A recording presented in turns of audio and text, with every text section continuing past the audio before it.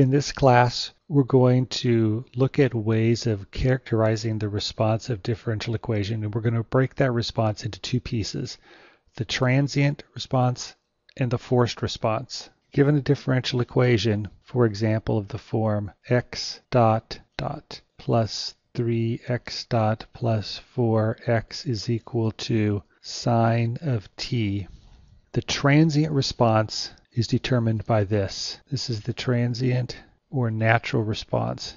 The forced response comes from this. The transient response is characterized by the poles of the system, which come from the roots of the characteristic equation. And in this case, that would be lambda squared plus 3 lambda is equal plus 4 is equal to 0 they would find lambda 1 and lambda 2.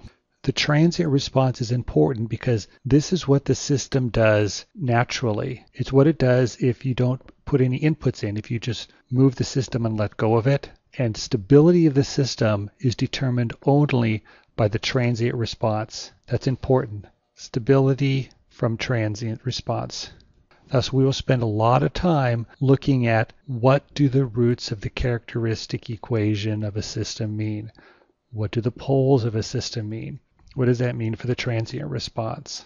It tells us how the system responds to inputs naturally and whether the system will be stable or unstable. The forced response is also important, but it's not considered in stability analysis. The forced response is a little bit simpler because it's something that we control.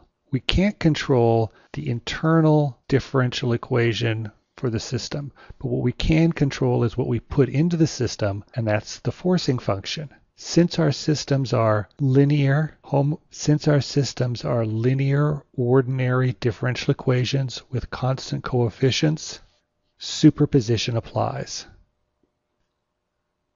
This is important when considering the forced response because for a linear ODE, the steady state response, that is what happens after the transient response finally dies out, is that the output follows the same form as the forced input.